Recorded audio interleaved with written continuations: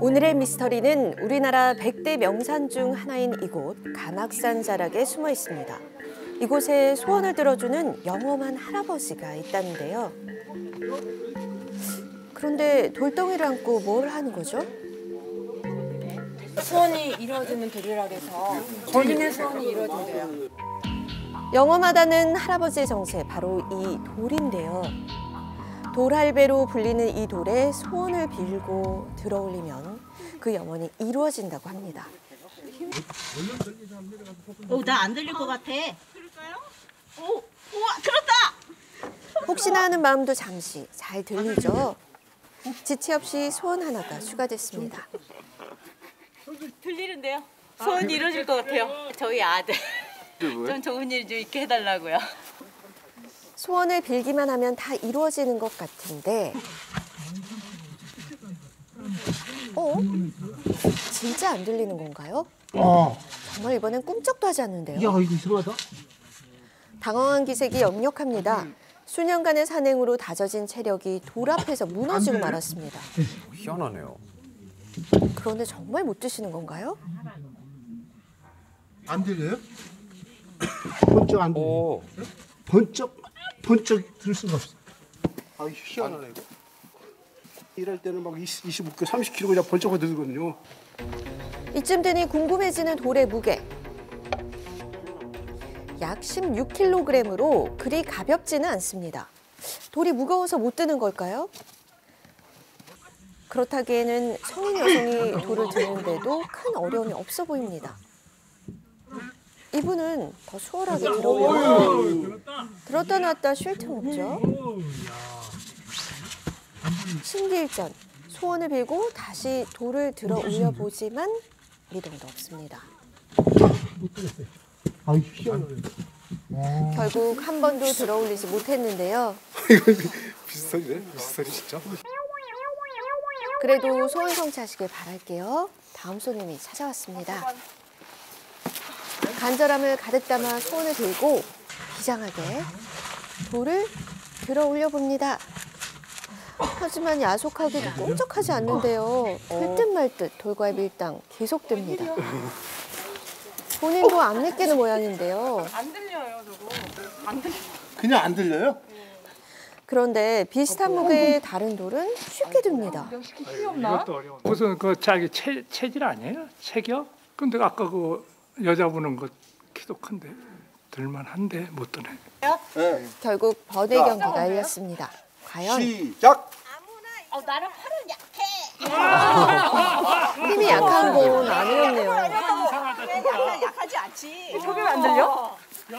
기운하고는 관계 없는 거네. 정말 이곳에 신비한 기운이 깃든 걸까? 말로 설명하기 힘든 현상을 보여주는 돌. 신묘한 비밀이 있는지 확인해 봐야겠죠?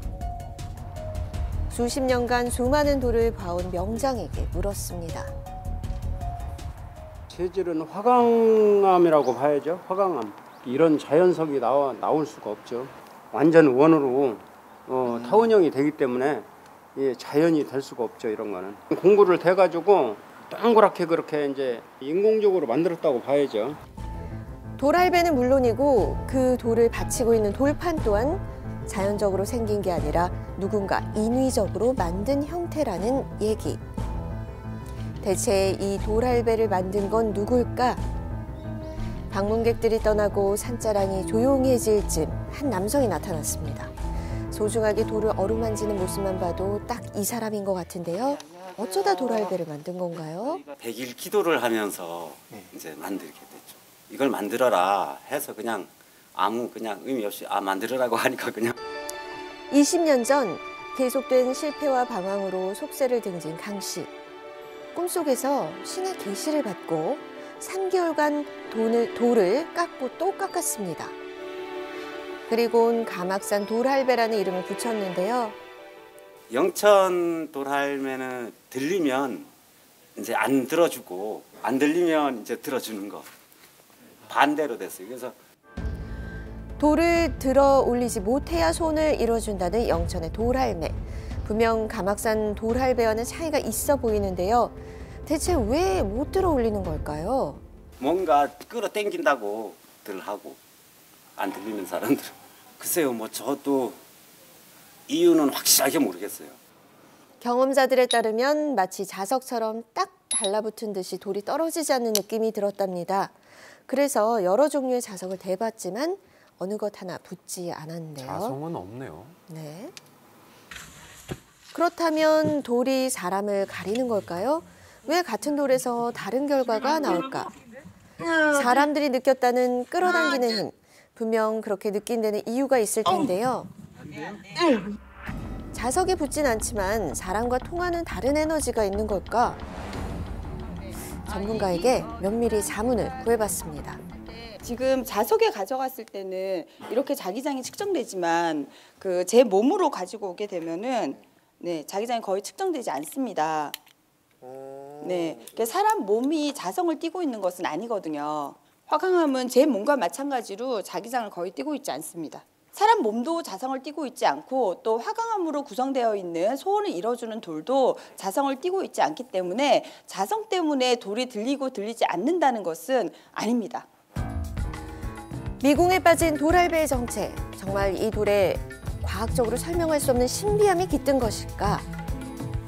기도를 좀 정성껏 많이 하는 사람과 좀 덜하는 사람이 차이점이 있을 것 같지 않을까요? 이거는 기도 안 하고 그냥 긴가민가 하는 마음에 다시 한번 시도해봅니다. 조금 들리는데 기도 안 하니까. 기도 안 하니까. 좀 가벼워. 말도 안 되는 상황. 다시 한번 기도를 하고 돌을 들어보는데요. 설마요? 어, 이해가 안 되네요. 설마요? 틀려. 정말 이 무게가 틀린데요. 기도하니까. 안 들려요? 예, 같은 돌이. 맞나 싶을 정도로. 거짓말은 아니죠. 과학적으로는 도저히 설명할 수 없는 현상.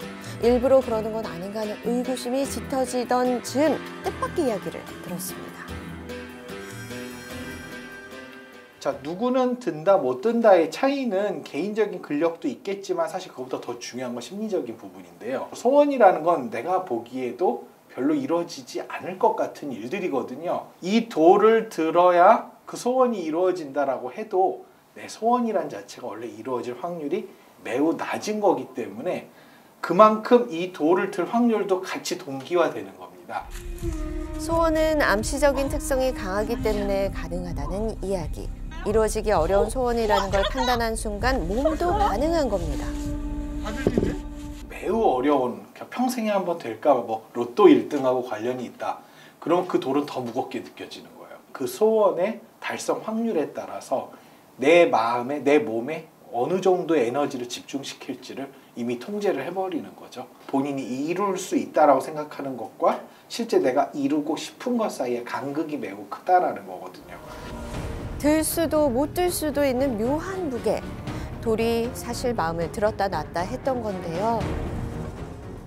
내년에는 아무 사고 없이 산행도 잘하고 또 저희 가정이 아, 좋은 일만 있기를 바랍니다.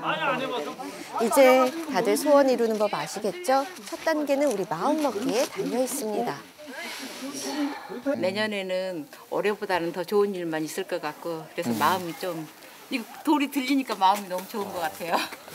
건강하고 긍정적인 마음가짐으로 다가올 2023년에도 소원 성취하시길 바라면서 지금까지 미스터리 M이었습니다.